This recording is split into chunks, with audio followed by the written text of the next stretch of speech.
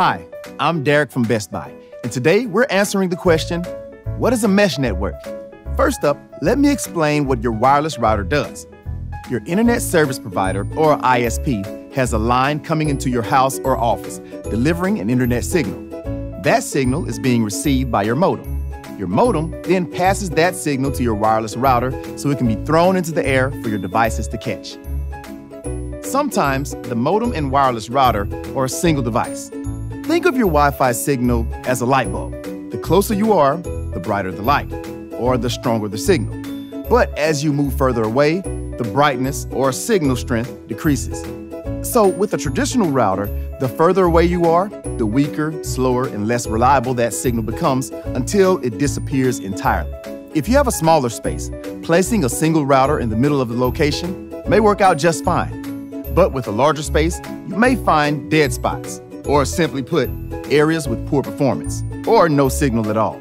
For example, if you wanted to add a Wi Fi security camera outside, a traditional router might struggle to throw a strong, consistent signal that far. It could be in a dead spot. So you might consider adding a wireless extender to do the trick. But with the wireless extender, you often lose some speed and it adds a layer of complexity to your home network because extenders are viewed as completely separate networks by your devices, making it harder for them to talk to each other. However, if you have a single dead spot, then an extender might do the trick. But if you have multiple, then a mesh network is likely the best solution. That's because it replaces your existing router. And you can place nodes like this throughout your location, stretching the range of your coverage.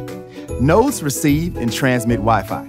Rather than having a single source for your Wi Fi signal, with the mesh network, you spread a warm, fuzzy Wi Fi blanket over your location. And the benefits? Well, it essentially spreads out a stronger and potentially faster network for all your Wi Fi devices, no matter where they're at inside or outside your location. Plus, as you move around, the nodes do a seamless handoff to each other so the signal remains strong without any interruption.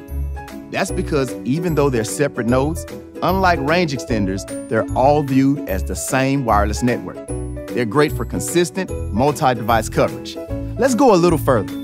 Think of all the devices in your house. Start with TVs, computers, laptops, then move to phones, tablets, and smart devices like cameras, doorbells, and lighting.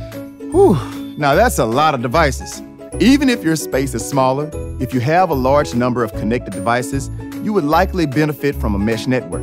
And that's because wireless routers are like highways. The more cars or devices you add, the more congested the road becomes. Traditional routers have single lanes so they can get congested faster.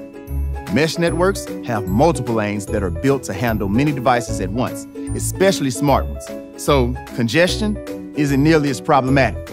And some mesh networks allow you to connect an Ethernet cord directly to the nodes for an even more reliable connection. This is great for desktop PCs, printers, gaming consoles, and other devices that don't move.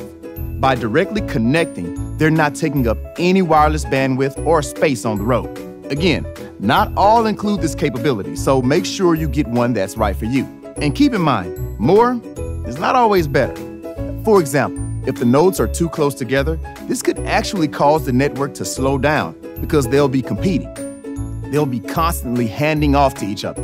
So check the specs on your mesh network for guidance on how close each node should be to another. Some even offer placement recommendations right in the app. Confirm that you got it right by running speed tests. Most of the mesh system apps have speed testing tools built in, but we also have one on BestBuy.com. Check it out using the link below. And for more specifics on getting the best signal possible, check out another video we made on optimizing your Wi Fi. Again, there's a link in the notes below. Oh, and back to those apps.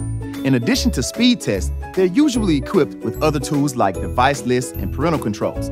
So you can check to ensure no unauthorized devices are connected, and even turn off the Wi Fi to certain devices. You know, when the kids should be sleeping. Go to bed. And they're designed to be seen compared to traditional routers. You can place them on bookshelves, mantles, and even kitchen counters. All in all, there are many ways to set up your Wi Fi network and using a mesh network is a great option for larger spaces with multiple devices needing a reliable internet connection. If you need help getting your system set up, Or if you need help activating certain features, we have some great videos to check out. Links are in the notes below. So, there you have it. Hopefully, you learned more about mesh networks. If you're ready to get started, visit a blue shirt in one of our stores, check out the options on BestBuy.com, or use the link below to set up time with a Best Buy home expert like me. We'll be happy to help. Thanks for watching.